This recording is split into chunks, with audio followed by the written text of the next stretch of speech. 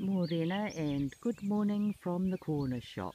Bit of a chilly old morning this morning. I thought I'd show you the frost that's out here. It looks amazing.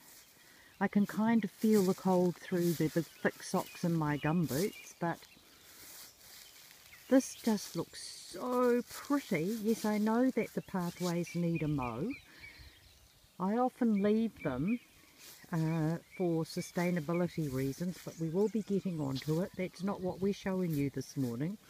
It's how pretty, pardon me, yes, there's another, oh look, there's even frost on my alternative to glyphosate weed killing.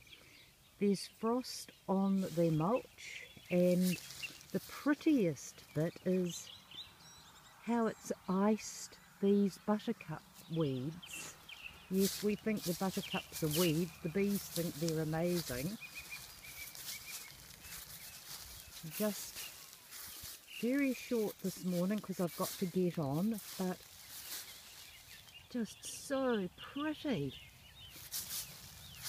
And you can see how quickly, as the temperature rises, the frost disappears one of the good things about the frost is it actually kills some less than desirable diseases and bugs.